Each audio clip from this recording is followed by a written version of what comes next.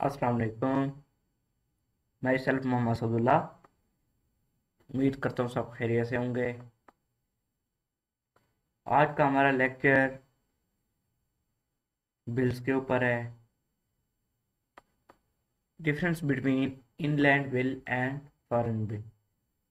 आज हम इनका डिफरेंस देखेंगे, इनलैंड बिल क्या है और फॉरेन बिल क्या है। सबसे पहले देखेंगे इनलैंड बिल को। Inland bill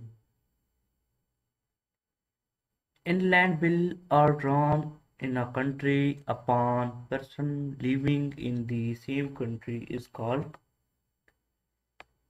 inland bill. अच्छा उसके बाद देखते हैं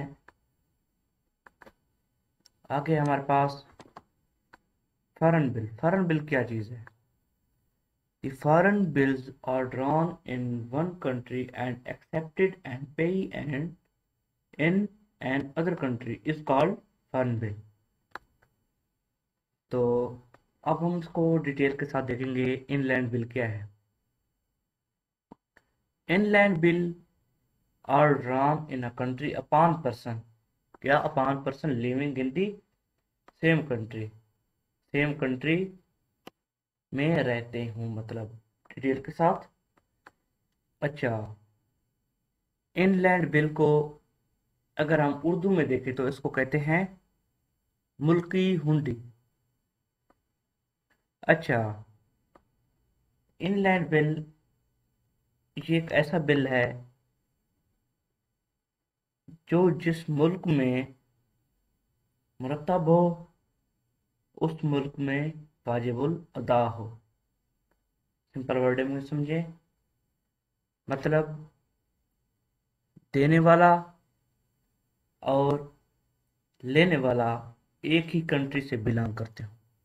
उसको हम कहते हैं इनलैंड बिल उसके बाद है foreign bill foreign bills are drawn in one country and accepted and paying and in an other country is called foreign bill foreign bill को उर्दू में कहते हैं गैर मुल्की हुंडी। अच्छा ये एक ऐसा बिल है जिसमें मरतब कुनिंदा और मरतब एहलिया दो मुख्तलिफ़ ममालिक के रहने वाले हूँ। मतलब एक जो मतलब ऐसे समझें, रकम सेंड करने वाला है, वो एक मुल्क में हो, एक कंट्री में हो, जो रकम रिसीव करने वाला है, वो दूसरी कंट्री से हो। मतलब इन दोनों का मुख्तलिफ़ कंट्री से होना लाजमी है, फॉरन बिल में। इनलैंड बिल में दोनों का एक ही कंट्री में होना लाजमी है, और फॉरन बिल का दोनों का डिफरेंट कंट्री में होना लाजमी है। मतलब जो रकम रिसीव कर रहा है, वो एक कंट्री से हो, जो रकम सेंड कर रहा है, वो दूसरी कंट्री से हो। दो डिफरेंट कंट्री से हों ये लोग। तो ये था हमारा आज का लेक्चर मिलते हैं लेक्चर में। तब तक के लिए अपना रखिएगा। बहुत सारा ख्याल। अल्लाह हाफिज़।